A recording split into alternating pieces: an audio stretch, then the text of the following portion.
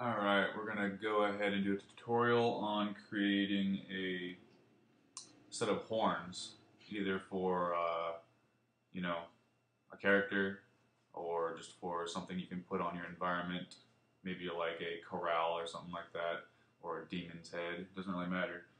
But we're going to use a curve tool to create this, and uh, it's going to be quite simple, pretty quick, and it looks good in the long run using the twist modifier. And uh, well basically let's get into it. So the first thing we want to do is get into the side view. And um, what we're going to do is be creating a cube uh, from a polygon.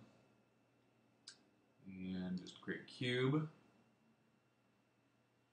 Alright so in the front view is what we're going to be in. Um,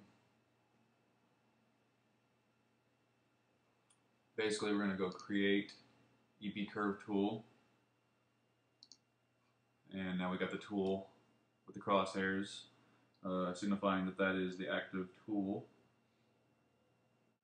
Alright, so what we're doing here is we're going to create the horn in the front view and this is just as simple as basically kind of going like that.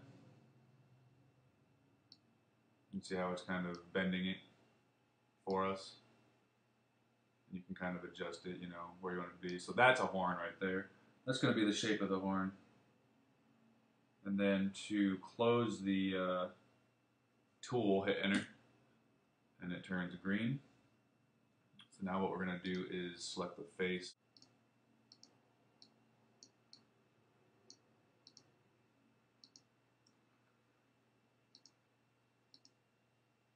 There we go.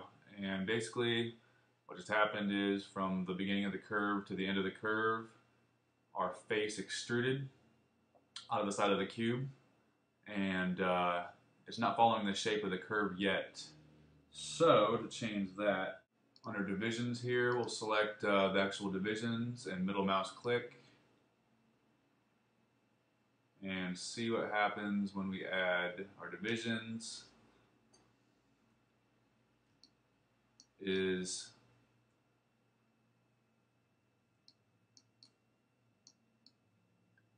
it actually follows the curve now.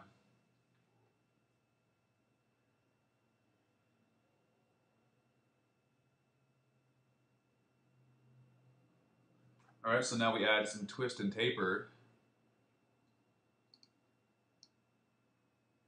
A little bit of twist, um, not too much, and basically get that twist going, add some taper, and booyah. We got ourselves a pretty good looking thing here.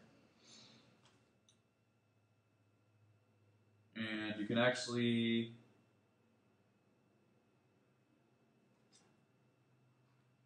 do a uh, twist value of negative 180 or 180, doesn't matter, and a taper of zero manually to do this. It ends up being the same thing. And basically, you can mirror this to make it uh, the other side of the horn. But what you do is go ahead and make it smooth to make it look even better. So if we go, uh, there we go. Added a smooth modifier to it, and there is our horn. So if we select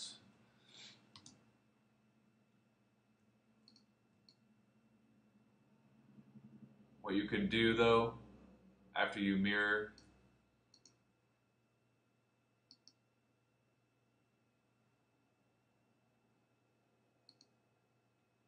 you gotta tell it which way to mirror.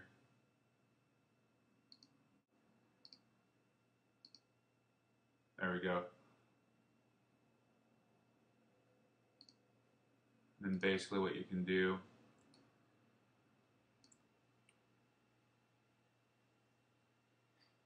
is uh, oh now the curve here is still here so what you got to do is select the geometry and then delete the history by um, delete by type.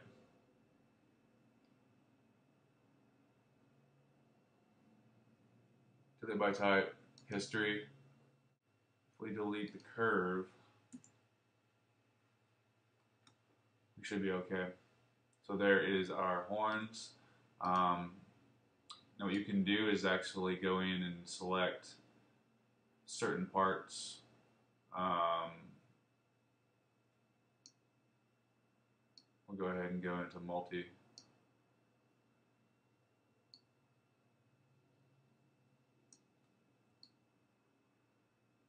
And basically what you can do is kind of, uh, you know, select those vertices and just kind of move them around. into each other.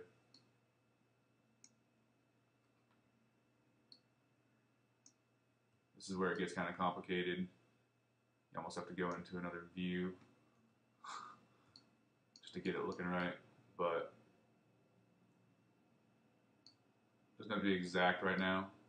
Um, let's go ahead and select these, bring them in. See how the geometry kind of messes up like that? I'm not really going to care because we're not visually seeing that, and this is a little model, so it doesn't matter to me. We can select these, kind of push it out a little bit.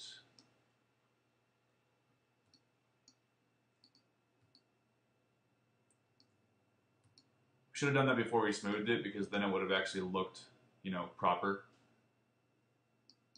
But, you know, that is the basics of what we're dealing with right here. Let's go back to object mode. So that's pretty much the idea behind uh, starting some devil horns. You know, that's a rough version of it, but you can see what I'm going for there.